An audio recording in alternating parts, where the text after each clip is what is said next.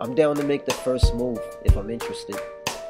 If you're the type that likes to take the initiative, I'm cool with it. I can reciprocate your feelings and make the second move.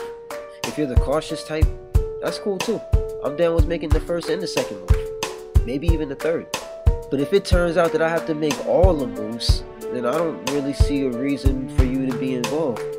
Like, I can't expect everybody to have interest in me, so I'm not gonna be salty about it. But if I have to chase you, then that means you're running away from me. That's something that people do when they don't want to be around me. So don't hold it against me if I act accordingly.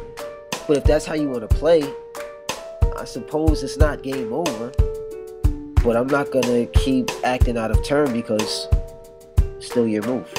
Just let a nigga know though. Otherwise, eventually, I'm just gonna assume you forfeit.